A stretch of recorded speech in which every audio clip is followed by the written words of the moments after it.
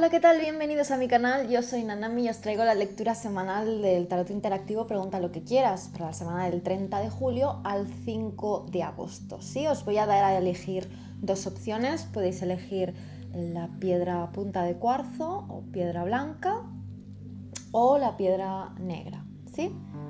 Bien, no olvidéis que no es una tirada, no es una lectura de sí o de no, sino que vamos a ir viendo cómo se desarrolla la situación y cuál es el consejo que te da el tarot, ¿sí? Para esas dudas, inquietudes que tengas.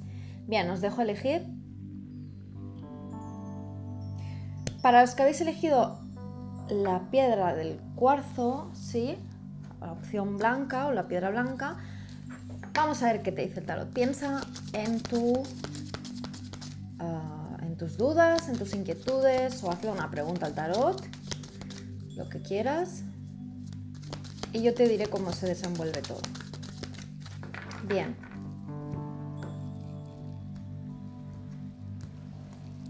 Vamos a ver cómo se desarrolla la situación. Aquí hay un periodo efectivamente en el que hay que pensarse las cosas, ¿sí?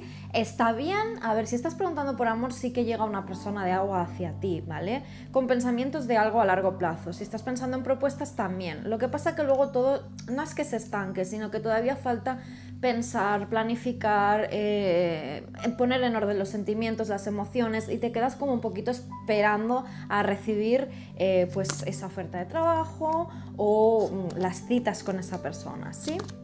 No eh, estés cerrado o cerrada, depende de qué oportunidades se te puedan estar presentando. El Papa sí que te habla de compromiso o incluso de, no sean firmas de contrato como tal, pero sí que se pueda palabrar algo, ya sea a nivel emocional, ya sea a nivel sentimental o ya sea a nivel de, empleo, ¿vale?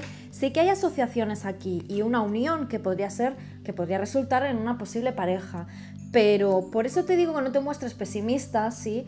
Que mm, es en plan, esta carta para mí representa el virgencita, virgencita que me quede como estoy. No, porque aquí la mano divina te está ofreciendo una cosa, pero tú prefieres quedarte con lo que ya tienes con tal de no perderlo y desaprovechar esa oportunidad. Así que tenlo muy en cuenta, ¿sí?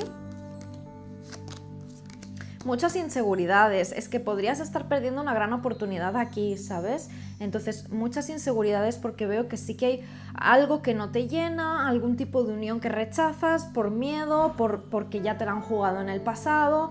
Puede ser también, ya te digo, en, un empleo que eh, en una formación o en una, ¿cómo te diría? Así, en una vocación que ya hayas hecho en el pasado y dices, pues, pues no, porque salí muy escaldada de este tema o o no porque salí muy escaldada de una relación y a lo mejor lo que sí que estás obviando es una persona que sí que te da compromiso, al menos se ve seriedad en el asunto y el carro, ¿vale? Al final tendrás que tomar una decisión sí o sí y la tomas y triunfarás. ¿Por qué? Porque el carro indica triunfo, sobre todo también a nivel de trabajo. A nivel de personas indica una persona que viene, sí, a nivel de amor. Sí que sería una persona joven, un chico joven que viene hacia ti, una chica, una energía masculina en este caso me sale, ¿vale? Em, te indica, como te digo, el triunfo y te indica como el, coger las riendas de tu vida. ¿Y qué te aconseja el, el tarot? E, e, el salón, iba a decir. ¿Qué te aconseja el tarot? Pues que seas firme en la decisión que tomes, tanto si es para bien como si es para mal, ¿vale? Que tienes que ser firme, que tienes que poner tus ideas en claro, antes que nada, con este 4 de, de espadas. Pero, ya te digo, no te cierres en banda según qué cosas, ¿sí? Ten en cuenta las señales del universo porque puedes estar obviando algo muy bonito aquí. Ya te digo que puede ser también, aplícalo a lo que tú veas, un nuevo negocio, una nueva relación, eh, una nueva amistad, lo que sea, ¿vale? Pero tienes que tener las ideas muy claras. Esto es lo que te dice la reina de espadas, ¿sí? Que pongas, primero te pienses las cosas con este cuatro de espadas y que luego tengas las ideas muy claras, ¿sí? Bien, pasamos a las personas que habéis elegido la piedra negra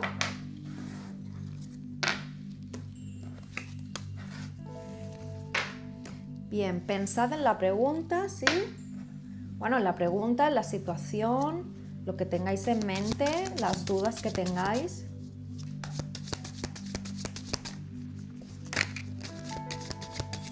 No la saco no, porque no se ha girado, ¿eh? Bien, y ahora sí, cortamos. Si tiene que salir, saldrá. Mira, otro caballero de copas. Así empieza otra vez la lectura. Vamos a ver. Necesito más info. Lo que yo veo aquí es mucho tema económico y mucho tema de trabajo, ¿vale? Sí que al final te habla de que vas a estar fluyendo, la templanza te habla también de eso, de, fluir, de sanar cosas del pasado. Aquí hay como un sentimiento de, que, de sentirte miserable respecto a algo o respecto a alguien, ¿sí? Eh, incluso podríamos estar hablando de una relación de madre e hijo, con una madre con un hijo adolescente, que no han ido bien las cosas, pero llega el padre, llega una figura de padre que sí que pone en orden la situación, no una figura de jefe o una figura de hombre, lo que sea, ¿vale? Pero sí que me muestra lo que es mucho más terrenal, no me salen casi copas, eh, con, lo, mm, con lo cual no hay tanto tema emocional aquí y de sentimientos. Hay que mostrar severidad, ya sea si estás pasando por una situación económica dura, ¿vale? Eh, sí que se ve que, vas a poner en orden lo que es eh, la economía, la manera de gestionarla, la economía, y que vas a esperar por unos resultados, pero que sí, que este 7 de, de, de, oro sí que es un dinero que se recibe, pero que todavía queda esperar un poquito, ¿vale?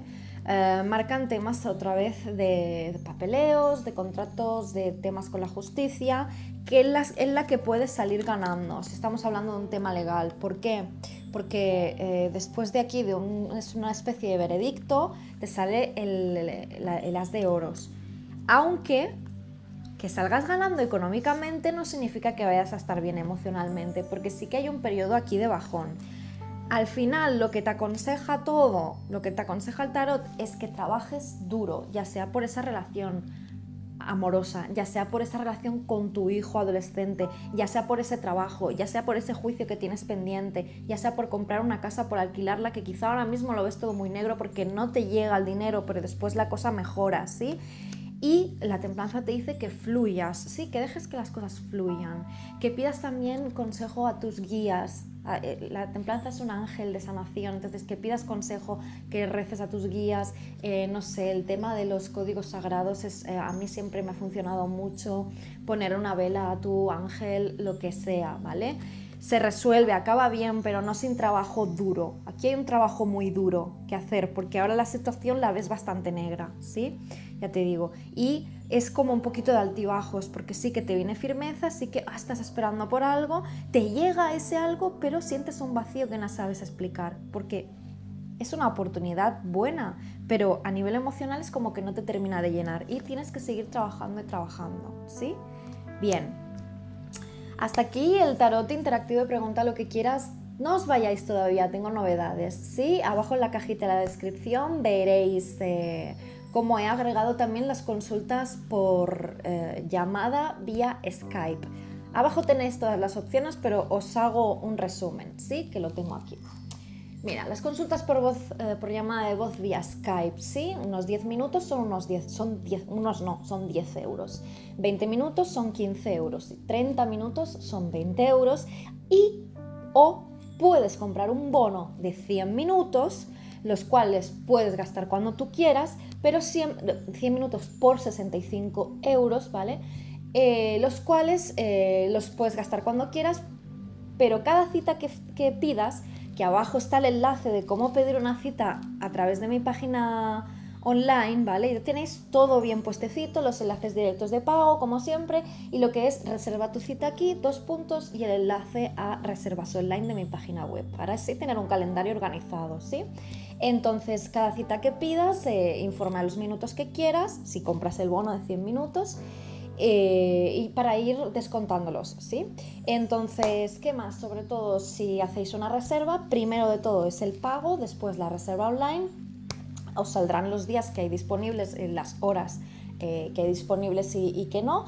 Y muy importante que me indiquéis vuestra dirección de Skype, la dirección de correo electrónico que tengáis asociada a Skype para antes de la cita, con antelación y tenerlo todo preparado, yo agregaros y os llamaré yo, por ejemplo, si pides cita el viernes a las 10 de la mañana, hora española, ¿vale? Pues a esa hora te llamo, una vez que hemos reservado la cita, o incluso unos minutos antes te mando un mensaje para ver si estás preparado o preparado para recibir la llamada. ¿sí? Pido sobre todo mucha puntualidad porque sí, claro, si no, si voy de retraso con una consulta, aunque solo sean 10 minutos, y luego tengo otra consulta al cabo de 20 minutos, si ya voy con retraso ya voy ahogada, con la soga al cuello, ¿vale? Bien, este es todo. Espero que os haya gustado la lectura. Os mando un beso, un saludo y nos vemos en el siguiente vídeo.